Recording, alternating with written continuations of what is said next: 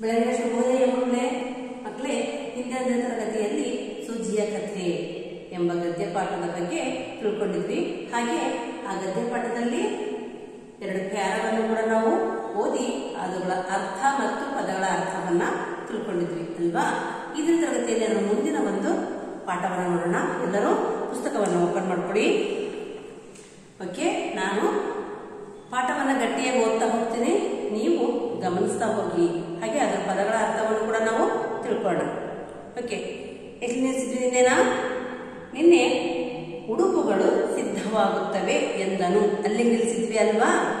X ಅದರ next Surekha, Peter, ಅಣ್ಣ, ಈ ಹೊಲಿಗೆ ಯಂತ್ರವನ್ನು ನೀನೇ ತಯಾರಿಸಿದೆಯಾ? ಸುರೇಖಾ ಕೇಳ್ತಾಳೆ. ಇಲ್ಲಿದ್ದಾಳಲ್ಲ ಸುರೇಖಾ ಹುಡುಗಿ?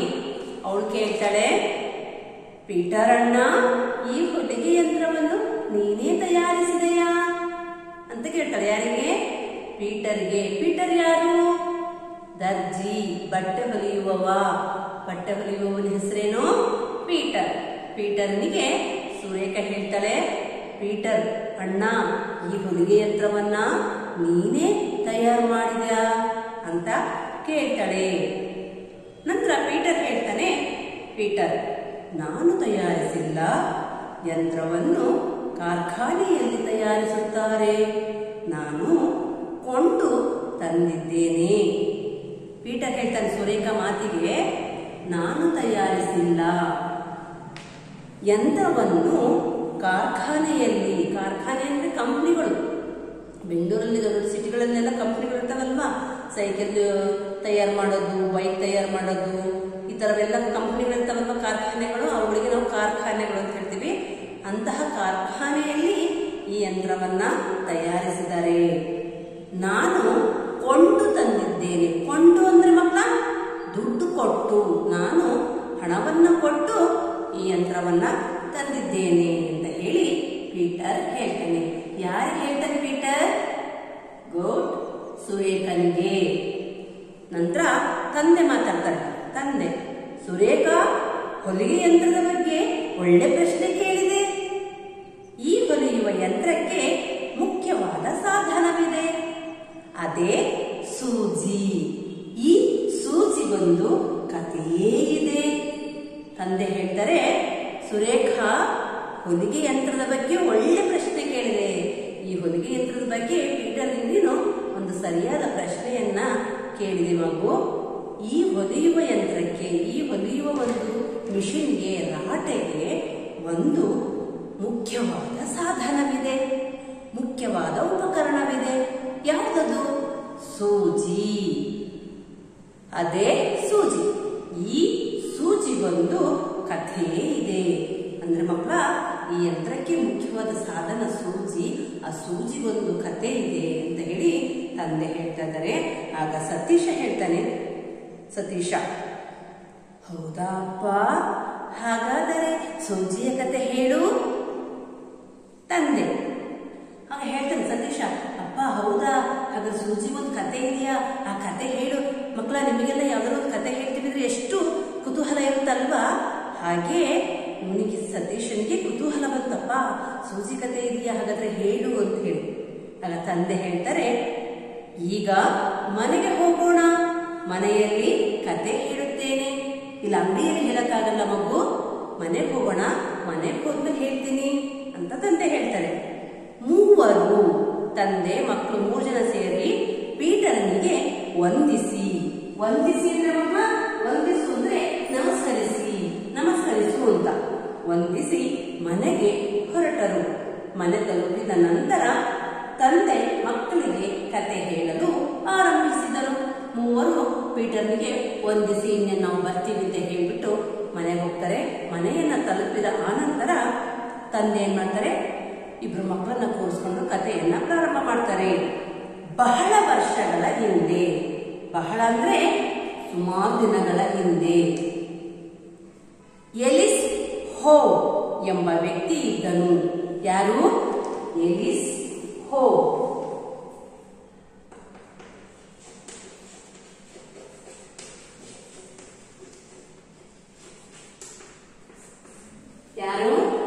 ಎಲಿಸ್ ಹೋ ಎಂಬ ವ್ಯಕ್ತಿ ಇದ್ದನು ಆತ ಬಟ್ಟೆ ಹೊಲಿಯುವ ಯಂತ್ರವನ್ನು ಕಂಡುಹಿಡಿದನು ಗಿಡದ ಮುಳ್ಳುಗಳನ್ನು ಆಧಾರವಾಗಿಟ್ಟುಕೊಂಡು ಸೂಜಿಯನ್ನು ಮಾಡಿದನು ಆದರೆ ಆ ಸೂಜಿಯ ತುದಿಗೆ ದಾರ ಸೇರಿಸುವುದು ಹೇಗೆ ಎಂಬುದು ತಿಳಿಯಲಿಲ್ಲ. ಹಗಲು ರಾತ್ರಿ ಅವನಿಗೆ ಅದೇ ಚಿಂತೆಯಾಯಿತು. ಮಲಗುವಾಗಲು ಆ ಯೋಚನೆಯಲ್ಲೇ ಮಲಗುತ್ತಿದ್ದನು. ನೋಡಿ ಮಕ್ಕಳ, ಏನಪ್ಪಾ ಅಂತಂದ್ರೆ ಬಹಳ ದಿನಗಳ ಹಿಂದೆ, ವರ್ಷಗಳ ಹಿಂದೆ ಎಲಿಸ್ ಹೋ ಎಂಬ ವ್ಯಕ್ತಿ ಇರ್ತಾನೆ. ಆ ವ್ಯಕ್ತಿ ಬಟ್ಟೆ ಹೊಲಿಯುವ ಯಂತ್ರವನ್ನ ಕಂಡುಹಿಡಿತಾನೆ. ಏನ್ ಮಿಷನ್ ಅಂತ ಹೇಳ್ತೀವಲ್ಲ? ರಾಟಿ ಅಂತ ಹೇಳ್ತೀವಲ್ವ? ಆ ರಾಟಿಯನ್ನ ಕಂಡುಹಿಡಿದಂತ ವ್ಯಕ್ತಿ ಯಾರು? ಎಲಿಸ್ ಹೋ ಎಂಬ ವ್ಯಕ್ತಿ. ಅವನು ಹೊಲಿಯುವ ಯಂತ್ರವನ್ನ ತಯಾರಿತಾನೆ, ಕಂಡುಹಿಡಿತಾನೆ. ಗಿಡದ ಮುಳ್ಳುಗಳನ್ನು. ಮಕ್ಕಳನ್ನು ನೀವು ನೋಡ್ತೀರಾ? ಗಿಡದ ಮುಳ್ಳುಗಳು ನಿಂಬೆ ಮುಳ್ಳು ಇರ್ತವೆ ಜಾಲಿ ಮುಳ್ಳು ಇರ್ತವೆ ಅಲ್ವಾ? ಈ ತರದಂತಹ ಮುಳ್ಳುಗಳನ್ನ ಆಧಾರವಾಗಿಟ್ಟುಕೊಂಡು ಆ ಮುಳ್ಳುಗಳನ್ನ ತಗೊಂಡು ಎದುರುಗಡೆ ಇಟ್ಕೊಂಡು ಸೂಜಿಯಿಂದ ಅಂದ್ರೆ ಸ್ಟೀಲ್ನಿಂದನೋ, ಮೆಟಲ್ನಿಂದನೋ ಸೂಜಿಯನ್ನು ಮಾಡಿದನು. ಆ ಮುಳ್ಳುಗಳನ್ನು ನೋಡಿಕೊಂಡು ಸೂಜಿಯನ್ನ ಮಾಡ್ತಾನೆ ಆದರೆ ಆ ಸೂಜಿಯ ತುದಿಗೆ ದಾರ ಸೇರಿಸುವುದು ಹೇಗೆ ಎಂಬುದು ತಿಳಿಯಲಿಲ್ಲ. ಮಕ್ಕಳ, ಸೂಜಿಯನ್ನ ತಯಾರು ಮಾಡ್ತಾರೆ. ಯಾರು? ಯಂತ್ರವನ್ನ ಕಂಡಿದಂತ ವ್ಯಕ್ತಿ ಯಾರು? ಹೊಲಿಗೆ ಯಂತ್ರವನ್ನ ಕಂಡಿದಂತ ವ್ಯಕ್ತಿ ಎಲಿಸ್ಕೋ. ಎಲಿಸ್ಕೋ ಹೊಲಿಗೆ ಯಂತ್ರವನ್ನ ಕಂಡಿಡಿತಾನೆ ಆದ್ರೆ ಅದಕ್ಕೊಂದು ಸೂಜಿಯನ್ನು ಕೂಡ ಅವನು ತಯಾರು ಮಾಡ್ತಾನೆ ಆದರೆ ಆ ಸೂಜಿಯ ತುದಿಗೆ ದಾರ ಕೊಣಿಸುವುದು ಹೇಗೆ ಎಂಬುದು ತಿಳಿಯೋದಿಲ್ಲ. ಹಗಲು ರಾತ್ರಿ. ಮಕ್ಕಳ, ಹಗಲು ಇರುಳು. ಇದು ನಿಮಗೆ ವಿರುದ್ಧ ಪದ ಅಂತ ಹೇಳ್ತೀವಿ. ವಿರುದ್ಧ ಪದ ಅಂದ್ರೆ ಅಪೋಸಿಟ್ ವರ್ಡ್ ಅಂತ ನೀವು ಇಂಗ್ಲಿಷ್ ಹೇಳ್ತೀರಾ ಅಲ್ವಾ? ವಿರುದ್ಧವಾಗಿರೋದು.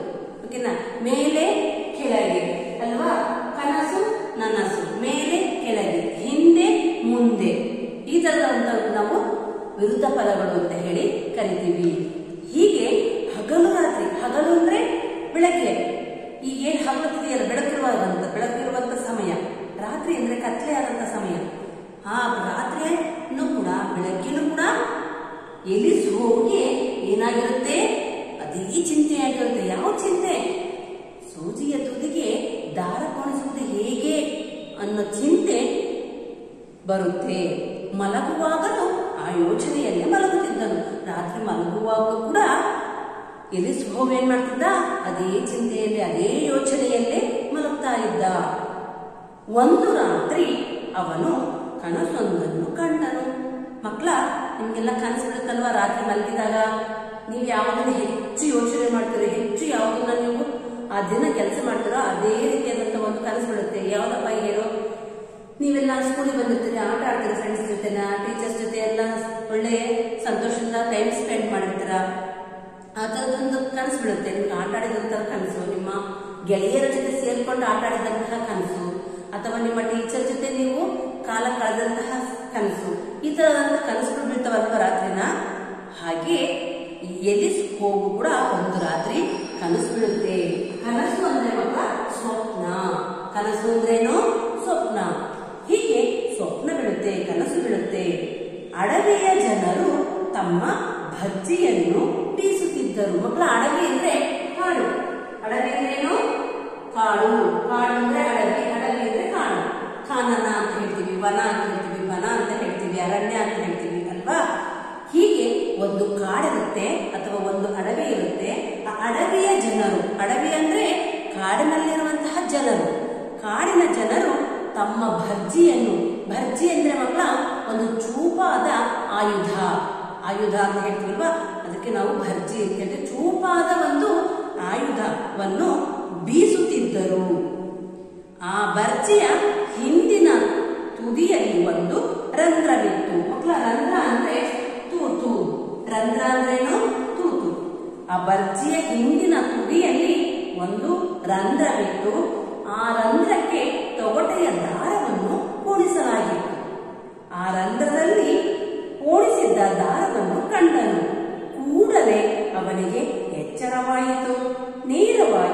ತನ್ನ ಪ್ರಯೋಗಶಾಲೆಗೆ ಹೋದನು. ತಾನು ಕನಸಿನಲ್ಲಿ ಕಂಡಂತೆ ಸೂಜಿಯ ಚೂಪಾದ ತುದಿಗೆ ಒಂದು ತೂತು ಹಾಕಿದನು. ಅದಕ್ಕೆ ದಾರ ಕೂಡಿಸಿ ಹೊಲಿಯಲು ತೊಡಗಿದನು. ಆ ಪ್ರಯತ್ನದ ಫಲವಾಗಿ ಬಟ್ಟೆಯ ಮೇಲೆ ಹೊಲಿಗೆ ಬೀಳಲಾರಂಭಿಸಿತು. ನೋಡಿ ಮಕ್ಕಳೇ ಎಲಿಸ್ ಹೋಗಿ ಮಾಡ್ತಾನೆ ಒಂದು ರಾತ್ರಿ ಮಲಗಿದ್ದಾಗ ಕನಸು ಬಿಡುತ್ತೆ ಎಂಥ ಕನಸು ಕಾಡಿನ ಜನರು ಅಥವಾ ಅಡವಿಯ ಜನರು ತಮ್ಮ ಬರ್ಜಿಯನ್ನು ಬೀಸುತ್ತಿರುವಂಥದ್ದು. ಆ ಬರ್ ಬಸ್ ಏನ್ ಕಾಡಿನ ಜನರು ಬರ್ಜಿಯನ್ನ ಬೀಸ್ತಾರಲ್ವಾ? ಕೂಡಲೇ ಇಲ್ಲಿದೆ ಅದು, ಬರ್ಜಿಯನ್ನ ಬೀಸುವಂತದ್ದು ನೋಡಿ ಇಲ್ಲಿದ್ದಾರೆ ಕಾಡಿನ ಜನರು. ಓಕೆನಾ? ಈ ಕಾಡಿನ ಜನರು ಇದು ಏನ್ ಕೈಯಲ್ಲಿ ಇದೆಯಲ್ವಾ ಇದೇ ಬರ್ಜಿ. ಈ ಚೂಪಾದ ಇಲ್ಲಿ ಮುಂದ್ಗಡೆ ಚೂಪಾಗಿದೆ ಹಿಂದ್ಗಡೆ ಒಂದು ತೊಗಟೆ ತರ ಇದೆ. ಆ ತೊಗಟೆಗೆ ಒಂದು ತೂತನ್ನ ಮಾಡಿದ್ದಾರೆ ಇದಕ್ಕೆ. ಆದ್ರೆ ಸೂಜಿಗೆ ಇಲ್ಲಿ ತೂತ್ ಮಾಡ್ತಾರೆ, ಇಲ್ಲಿ ರಂಧ್ರವನ್ನ ಮಾಡ್ತಾರೆ. ಈ ತರದಂದ್ರೆ ಅವನಿಗೆ ಈ ಭರ್ಜಿಯ ಒಂದು ಕನಸು ಬಿಡುತ್ತೆ ಯಾರಿಗೆ? ಎಲಿಸ್ಕೋಗೆ ಆ ಕನಸಲ್ಲಿ ಆ ಬರ್ಜಿಯನ್ನ ಕಾಣ್ತಾನೆ. ಆ ಬರ್ಜಿಯ ಹಿಂದಿನ ತುದಿಯಲ್ಲಿ ಒಂದು ದಾರವನ್ನ ಕೊಡಿಸಿರ್ತಾರೆ. ಆ ಒಂದು ಕನಸು ಎಲಿಸ್ ಹೋಗಿ ಬಿಡುತ್ತೆ ಆ ಹಿಂದಿನ ತುದಿಯಲ್ಲಿ ಒಂದು ರಂಧ್ರವಿರುತ್ತೆ. ಆ ರಂಧ್ರಕ್ಕೆ ತೊಗಟೆಯ ದಾರವನ್ನ ಕೊಡಿಸಲಾಗುತ್ತೆ. ಅದೇನು ಕೈಯಲ್ಲಿ ಹಿಡ್ಕೊಂಡಿದ್ರೆ ಅಡವಿ ಜನರು? ಅಡವಿ ಜನರಲ್ಲಿ, ಅಡವಿಯ ಜನರ ಕೈಯಲ್ಲಿರುವಂತಹ ಬರ್ಜಿಯ ಹಿಂದಿನ ತುದಿಯಲ್ಲಿ ಒಂದು ದಾರವನ್ನ ಪೋಣಿಸಿರ್ತಾರೆ ಅಂತಹ ಒಂದು ಕನಸನ್ನ ಈ ಎಲಿಸ್ಕೋ ಕಾಣ್ತಾನೆ. ಆ ರಂಧ್ರದಲ್ಲಿ ಪೋಣಿಸಿದ್ದ ದಾರವನ್ನು ಕಂಡನು. ಆ ರಂಧ್ರದಲ್ಲಿ ಏನು ಪೋಣಿಸಿರ್ತಾರಲ್ವಾ ದಾರ? ನೋಡಿ, ಇಲ್ಲಿದೆ ಅಲ್ವಾ ಇದೇ ದಾರ? ಈ ದಾರವನ್ನ ಕಾಣ್ತಾನೆ. ಓಕೆನಾ? ದಾರವನ್ನು ಪೋಣಿಸಿದನ್ನ ಕಂಡ ನಂತರ ಕೂಡಲೇ ದಾರ ಕೋಣಿಸಿದಂತಹ ಒಂದು ಕನಸು ಏನ್ ಬಿತ್ತಲ್ವಾ? ಅದ್ರ ಕನಸು ಬಿದ್ದ ಕೂಡಲೇ, ಕೂಡಲೆಂದ್ರೆ ತಕ್ಷಣ.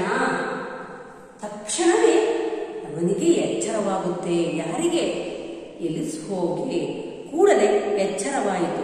ನೇರವಾಗಿ ತನ್ನ ಪ್ರಯೋಗಶಾಲೆಗೆ ಹೋದನು. ಬೇಗ ಎದ್ಬಿಟ್ಟು ಅಷ್ಟೊತ್ತಲ್ಲೇ ಬೇಗ ಎದ್ಬಿಟ್ಟು ತನ್ನ ಒಂದು ಪ್ರಯೋಗದ ಒಂದು ಕೊಠಡೆ ಇತ್ತು ರೂಮ್ ಇತ್ತು. ಆ ರೂಮಿಗೆ ಹೋಗ್ತಾನೆ. ತಾನು ಕನಸಿನಲ್ಲಿ ಕಂಡಂತೆ. ಅವನು ಏನ್ ಕನಸಿನಲ್ಲಿ ಕಂಡಲ್ವಾ? ಬ- ಅಡವಿಯ ಜನರು ಬರ್ಜಿಯನ್ನು ಹಿಡ್ಕೊಂಡು ಹೋಗಿರೋದನ್ನ ಬರ್ಜಿಯ ಹಿಂದಿನ ತುದಿಗೆ ದಾರವನ್ನು ಪೋಣಿಸಿದಂತ ಒಂದು ಕನಸು ಕಂಡಲ್ವಾ? ಆ ಕನಸಿನಲ್ಲಿ ಕಂಡಂತೆ ಸೂಜಿಯ ಒಂದು ಚೂಪ, ಏನ್ ಸೂಜಿ ಇರುತ್ತಲ್ಲ? ಸೂಜಿಯ ಒಂದು ತೂಪ, ಚೂಪಾದ ತುದಿಗೆ. ತುದಿಗೆ ಒಂದು ತೂತನ್ನ ಹಾಕ್ತಾನೆ. ಅದಕ್ಕೆ ದಾರ ಪೋಣಿಸ್ತಾನೆ ಹೊಲಿಯಲು ಪ್ರಾರಂಭ ಮಾಡ್ತಾನೆ. ತೊಡಗಿದನು ಅಂದ್ರೆ ಹೊಲಿಯಲು ಪ್ರಾರಂಭ ಮಾಡಿದನು. ಆ ಪ್ರಯತ್ನದ ಫಲವಾಗಿ ಬಟ್ಟೆಯ ಮೇಲೆ ಹೊಲಿಗೆ ಬೀಳಲಾರಂಭಿಸಿತು. ನೋಡಿ, ಮಕ್ಕಳ ಅವನು ರಾತ್ರಿ ಎಲ್ಲ ಯೋಚನೆ ಮಾಡ್ತಿದ್ದ, ರಾತ್ರಿ ಎಲ್ಲ ಚಿಂತೆ ಮಾಡ್ತಾ ಇದ್ದ. ಆ ಒಂದು ಚಿಂತೆಯಿಂದ ಅವನು ಅವನು ಪ್ರಯತ್ನ ಪಟ್ಟ ಒಂದು ಶ್ರಮದಿಂದ ಆ ಒಂದು ಸೂಜಿ ಒಂದು ಹೊಲಿಗೆಯನ್ನು ಹಾಕಕ್ಕೆ ಶುರು ಮಾಡಿತು. ಹಾಗೆ ಅದರ ಫಲವಾಗಿದೆ ಆ ಪ್ರಯತ್ನವನ್ನು ಮಾಡಿದ್ರಿಂದ ಆ ಒಂದು ಬಟ್ಟೆಯ ಮೇಲೆ ಹೊಲಿಗೆ ಬೀಳಲು ಶುರುವಾಯಿತು, ಪ್ರಾರಂಭವಾಯಿತು. ಓಕೆ ಮಕ್ಕಳ ನೆಕ್ಸ್ಟ್ ಪೇಜ್ ತಿರುಗಿಸಿ. ಎಲಿಸ್ ಹೋವ್ನ ಶ್ರಮ ಮತ್ತು ಬುದ್ಧಿಯ ಫಲವೇ ಯಂತ್ರದ ಸೂಜಿ. ಎಲಿಸ್ ಹೋವ್ ಏನ್ ಶ್ರಮ ಪಟ್ನಲ್ವಾ ಶ್ರಮ ಅಂದ್ರೆ ಮಕ್ಕಳ ದಣಿವು. ಶ್ರಮ ಅಂದ್ರೇನು? ದಣಿವು. ಅವನು ಏನು ಆಯಾಸ ಪಟ್ನಲ್ವಾ ಆ ದಣಿವಿನಿಂದ ಅವನು ಏನ್ ಮಾಡ್ಲೇಬೇಕು ನಾನು ಸೂಜಿಯನ್ನ ಕಂಡಿಡಬೇಕು ಅಂತ ಹೇಳಿ ಏನು ಅವನು ಛಲವನ್ನ ತೊಟ್ಟಿದ್ನಲ್ವಾ? ಆ ಒಂದು ಪ್ರಯತ್ನದ ಫಲವೇ, ಆ ಶ್ರಮ ಮತ್ತು ಬುದ್ಧಿಯ ಫಲವೇ ಯಂತ್ರದ ಸೂಜಿ. ಅವನು ಏನ್ ಶ್ರಮ ಮಾಡಿದ್ನ? ಶ್ರಮ ಹಾಕಿದ ಅಲ್ವಾ? ಆ ಶ್ರಮ ಪಟ್ಟಿದ್ದಕ್ಕೆ ಅವನು ಫಲ ಪಟ್ಟಿದ್ದು ಯಾವುದಪ್ಪ ಅಂದ್ರೆ, ಆ ಯಂತ್ರದ ಒಂದು ಸೂಜಿ. ಅದಕ್ಕಾಗಿ ನಾವು ಆತನ ಉಪಕಾರ ನೆನೆಯಬೇಕು. ನೆನೆಯಬೇಕು ಅಂದ್ರೆ ನೆನಪು ಮಾಡಿಕೊಳ್ಬೇಕು ಅಂತ ಹೇಳಿ. ನೋಡಿ, ಅವನು ಎಷ್ಟೋ ದಿವಸಗಳ ಹಿಂದಿನ ಒಬ್ಬ ವ್ಯಕ್ತಿ ಅವನು ಅಲ್ವಾ? ಅವನು ಇಲ್ಲ ಇವಾಗ. ಅವನು ಸತ್ಯ ಸುಮಾರು ವರ್ಷಗಳಾಯಿತು, ಸಾವಿರಾರು ವರ್ಷಗಳಾಯಿತು. ಆದರೆ ಅವನು ಕಂಡಿಡಿದಂತಹ, ಅವನು ತಯಾರಿಸಿದಂತಹ ಯಂತ್ರ ಮತ್ತು ಸೂಚಿ ಈಗಲೂ ಕೂಡ ಅವನ ಒಂದು ನೆನಪಿನಲ್ಲಿ ಇದೆ. ಅದಕ್ಕೋಸ್ಕರ ನಾವು ಅಂಥವರನ್ನ ನೆನಪು ಮಾಡ್ಕೋಬೇಕು ಅಂತ ಹೇಳಿ. ಅದಕ್ಕಾಗಿ ನಾವು ಆತನ ಉಪಕಾರ ನೆನೆಯಬೇಕು. ನೋಡಿ, ಅವರು ನಮಗೆ ಅಂತ ಉಪಕಾರ ಮಾಡಿಟ್ಟಿದ್ದಾರೆ ಅವನ ಯಂತ್ರ ಕಂಡಿಡದೇ ಇದ್ದಿದ್ರೆ, ಆ ಸೂಜಿಯನ್ನು ತಯಾರಿಸದೇ ಇದ್ದಿದ್ರೆ, ನಾವು ಈ ರೀತಿಯಾಗಿ ಬಟ್ಟೆಯನ್ನು ಕೊಲ್ಕೊಂಡು ತೊಟ್ಕೊಳ್ತಾ ಇರಲಿಲ್ಲ, ಧರಿಸ್ತಿರ್ಲಿಲ್ಲ ಮಕ್ಕಳ. ಆದರೆ ಅವನು ಮಾಡಿರುವಂತಹ ಉಪಕಾರವನ್ನ ನಾವು ಯಾವಾಗಲೂ ಕೂಡ ಸ್ಮರಿಸಬೇಕು, ನೆನೆಯಬೇಕು. ಎಲಿಸ್ನ ಹೆಸರು ಇಂದು ಕೇಳಿ ಬರುತ್ತಿಲ್ಲ. ನೋಡಿ, ಈ ಯಂತ್ರವನ್ನ ಯಾರು ಕಂಡುಹಿಡಿದ್ರು ಅಂತ ಹೇಳಿ ಇದುವರೆಗೂ ಯಾರು ಗೊತ್ತಿಲ್ಲ. ಬೇಕಾದ್ರೆ ನಿಮ್ಮ ತಂದೆ ತಾಯಿಗಳನ್ನ ಹೋಗಿ ಕೇಳಿ. ಅವ್ರಿಗೂ ಗೊತ್ತಿಲ್ಲ. ಆದ್ರೆ ಅವನ ಹೆಸರು ಗೊತ್ತಿದ್ದೇ ಇರ್ಬೋದು. ಆದ್ರೆ ಅವನು ಕಂಡುಹಿಡಿದಂತ ಈ ಒಂದು ಹೊಲಿಗೆ ಯಂತ್ರ ಸಾಕಷ್ಟು ಜನರಿಗೆ ಉಪಕಾರವನ್ನ ಮಾಡಿದೆ ಆದರೂ ಆತ ಕಂಡು ಹಿಡಿದ ನಮ್ಮೆಲ್ಲರ ಸೇವೆ ಮಾಡುತ್ತಿದೆ ನೋಡಿ ಅವನು ಕಂಡಿಡಿದಂತಹ ಅವನು ತಯಾರು ಮಾಡಿದಂತಹ ಸೂಚಿ ನಮ್ಮಂತಹ ಎಲ್ಲ ಸಾವಿರಾರು ಜನಗಳನ್ನ, ಲಕ್ಷಾಂತರ ಜನಗಳ ಒಂದು ದೇಹಕ್ಕೆ ಒಂದು ಉಡುಪುಗಳನ್ನಾಗಿ ತಯಾರು ಮಾಡುತ್ತೆ ಅಲ್ವಾ? ನೋಡಿ ಮಕ್ಕಳೇ, ನಾವು ಇಲ್ಲದೆ ಹೋದರೂ ನಾವು ಮಾಡಿದ ಒಳ್ಳೆಯ ಕಾರ್ಯ ಉಪಯೋಗಕ್ಕೆ ಬರುವುದು ಎಂದರು. ನೋಡಿ ಮಕ್ಕಳ, ನಾವೇ ಆಗಲಿ, ನೀವೇ ಆಗಲಿ, ಯಾರೇ ಆಗಲಿ, ನಾವು ಇಲ್ಲದೆ ಹೋದರೂ ಪರವಾಗಿಲ್ಲ, ನಾವು ಸತ್ರು ಕೂಡ ಸತ್ತು ಹೋದ್ಮೇಲೂ ಕೂಡ ನಾವು ಮಾಡಿದಂತಹ ಒಂದು ಒಳ್ಳೆ ಕಾರ್ಯ ಕಾರ್ಯ ಅಂದ್ರೆ ಕೆಲಸ. ನಾವು ಮಾಡಿದಂಥ ಒಂದು ಒಳ್ಳೆ ಕಾರ್ಯ ಅಥವಾ ಕೆಲಸ, ನಾವು ಸತ್ತು ಹೋದ್ಮೇಲಾದ್ರೂ ಕೂಡ ಬದುಕಿರುವಂತಹ ಜನರು ನೆನಪು ಮಾಡ್ಕೊಳ್ತಾರೆ. ಸ್ಮರಿಸ್ತಾರೆ ನಮ್ಮನ್ನ. ನೋಡಪ್ಪ, ಇಂಥವ್ರು ಇದ್ರು, ಅವ್ರು ಈ ಥರ ಮಾಡ್ಬೋದು, ನಮಗೆ ಈ ಥರ ಅನುಕೂಲ ಮಾಡಿಕೊಟ್ಬೋದು ಅಂತ ಹೇಳಿ ನಮ್ಮನ್ನ ಹಾಡಿ ಹೋಗ್ತಾರೆ ಸ್ಮರಿಸ್ತಾರೆ.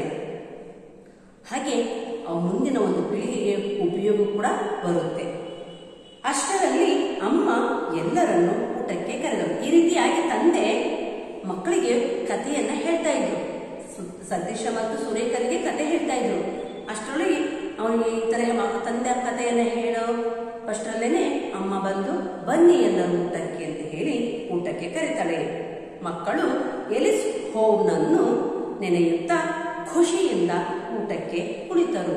ಮಕ್ಕಳಿಗೆ ಆ ಕತೆ ಕೇಳಿ ತುಂಬಾ ಸಂತೋಷ ಆಗ್ಬಿಡ್ತು. ಓಹೋ, ಎಲಿಸ್ ಹೋಗ್ ಕಂಡಿಡಿದಂತ ಈ ಮಿಷಿನ್ ಈ ಯಂತ್ರ ನಮ್ಮ ಬಟ್ಟೆಗಳನ್ನು ಹೊಲಿಯುತ್ತೆ ಎಷ್ಟು ಒಳ್ಳೆಯ ವ್ಯಕ್ತಿ ಅಂತ ಹೇಳಿ ಅವರು ಎಲೆ ಸುಖವನ್ನ ಸ್ಮರಿಸುತ್ತಾ ನೆನಪು ಮಾಡ್ಕೊಳ್ಕೊಂತ ಸಂತೋಷದಿಂದ, ಖುಷಿಯಿಂದ ಊಟವನ್ನು ಮಾಡೋದಕ್ಕೆ ಪ್ರಾರಂಭ ಮಾಡ್ತಾರೆ. ನೋಡಿ ಮಕ್ಕಳೇ ಒಳ್ಳೆಯ ಕೆಲಸ ಸದಾ ಜನೋಪಯೋಗಿ ನೋಡಿ ಮಕ್ಕಳ ಈ ಪಾಠದಿಂದ ನಮಗೆ ಏನು ತಿಳಿಯುತ್ತೆ ಅಂತಂದ್ರೆ, ನಾವು ಯಾವುದೇ ಒಂದು ಒಳ್ಳೆಯ ಕೆಲಸವನ್ನ ಮಾಡಿದ್ರೆ ಆ ಒಂದು ಕೆಲಸ ಮುಂದಿನ ಒಂದು ಜನಾಂಗಕ್ಕೆ, ಒಂದು ಉಪಯೋಗಕ್ಕೆ ಬರುತ್ತೆ. ನಾವು ಕೆಟ್ಟ ಕೆಲಸ ಮಾಡದೇ ಇದ್ರು, ಕೆಟ್ಟ ಕೆಲಸ ಮಾಡಕ್ಕಂತೂ ಹೋಗ್ಬಾರ್ದು. ಒಳ್ಳೆ ಕೆಲಸ ಮಾಡಬೇಕು. ಒಳ್ಳೆ ಕೆಲಸ ಮಾಡಕ್ ಆಗದೇ ಇಲ್ಲ, ಮಾಡಕ್ ಆಗಲ್ಲ ಅಂದ್ರೂ ಪರವಾಗಿಲ್ಲ. ಆದ್ರೆ ಕೆಟ್ಟ ಕೆಲಸ ಮಾತ್ರ ಮಾಡಬಾರ್ದು. ಏನೇ ಆಗಲಿ, ನಾವು ಒಳ್ಳೆಯದನ್ನೇ ಮಾಡುವುದನ್ನ, ಒಳ್ಳೆಯದನ್ನೇ ಬಯಸೋದನ್ನ ನಾವು ಈ ಒಂದು ಪಾಠದ ಮುಖಾಂತರ ತಿಳ್ಕೋಬಹುದು ಮಕ್ಕಳ. ನೀವು ಕೂಡ ಇದೇ ರೀತಿಯಾದಂತಹ, ನಿಮ್ಮಲ್ಲೂ ಕೂಡ ಒಂದು ಛಲ ಇರುತ್ತೆ. ನಿಮ್ಮಲ್ಲೂ ಕೂಡ ಈ ತರದಂತ ಕಂಡಿಡಿಯಂತಹ ಬುದ್ಧಿವಂತ ಕೂಡ ಇರ್ತೀರ. ಆದ್ರೆ ನೀವು ಅದನ್ನ ಸರಿಯಾದ ಸಮಯಕ್ಕೆ ನಿಮ್ಮ ಬುದ್ಧಿವಂತಿಕೆಯನ್ನು ಬಳಸ್ಕೋಬೇಕು ಮಕ್ಕಳ. ನೀವು ಕೂಡ ಯಾರು ಒಬ್ಬರು ನಿಮ್ಮಲ್ಲೂ ಕೂಡ ಯಾರು ಒಬ್ರು ಸುಖವನ್ನಂತರ ಇರ್ತೀರಾ ಅಂತ ಅನ್ಕೊಳ್ತೀನಿ. ಮಕ್ಕಳೇ, ನಾವು ಈ ತರಗತಿಯಲ್ಲಿ ಏನ್ ತಿಳ್ಕೊಂಡ್ವಿ? ಸೂಜಿಯ ಒಂದು ಕಥೆಯನ್ನ, ಸೂಜಿಯ ಒಂದು ಕಥೆಯಲ್ಲಿ ಹೊಲಿಯುವ ಯಂತ್ರವನ್ನ ಯಾರು ಕಂಡಿದ್ರು ಆ ಹೊಲಿಯುವ ಯಂತ್ರಕ್ಕೆ ಮುಖ್ಯವಾದ ಸಾಧನ ಯಾವುದು? ಹಾಗೆ ಆ ಹೊಲಿಯುವ ಯಂತ್ರವನ್ನು ಕಂಡುಹಿಡಿದಂತ ವ್ಯಕ್ತಿ ಎಲಿಸ್ಕೋ ಎಷ್ಟೆಲ್ಲ ಕಷ್ಟಪಟ್ಟ ಅಲ್ವಾ? ಆ ಸೂಜಿಯನ್ನ ತಯಾರು ಮಾಡಲಿಕ್ಕೆ. ಹಾಗೆ ಅವನು ಸೂಜಿಯನ್ನು ತಯಾರು ಮಾಡಲಿಕ್ಕೆ ಎಷ್ಟು ಕಷ್ಟಪಟ್ಟ ಯಾವ ಕನಸನ್ನ ಕಂಡ. ಆ ಕನಸಲ್ಲಿ ಕಂಡಂತಹ ಒಂದು ಕೆಲಸವನ್ನು ತನ್ನ ಪ್ರಯೋಗಶಾಲೆಯಲ್ಲಿ ಹೇಗೆ ತಯಾರು ಮಾಡಿದ? ಆ ಸೂಜಿಯನ್ನು ಹೇಗೆ ತಯಾರು ಮಾಡಿದ? ಅನ್ನೋದನ್ನ ನಾವು ಈ ಒಂದು ಪಾಠದ ಮುಖಾಂತರ ತಿಳ್ಕೊಂಡ್ವಿ. ಹಾಗೆ ಈ ಹೊಸ ಪದಗಳ ಒಂದು ಅರ್ಥವನ್ನು ತಿಳ್ಕೊಂಡ್ವಿ. ಮತ್ತೆ ವಿರುದ್ಧ ಪದಗಳನ್ನು ಕೂಡ ನಾವು ಈ ತರಗತಿಯಲ್ಲಿ ತಿಳ್ಕೊಂಡ್ವಿ. ಮಕ್ಕಳ, ಈ ಒಂದು ಪಾಠದ ಅಭ್ಯಾಸ ಪ್ರಶ್ನೆಗಳಿಗೆ ನೀವು ಉತ್ತರಗಳನ್ನು ಹುಡುಕಿ ಬರೆದು ನನಗೆ ವಾಟ್ಸಪ್ಗೆ ಸೆಂಡ್ ಮಾಡಬೇಕು ಓಕೆನಾ ಥ್ಯಾಂಕ್ ಯು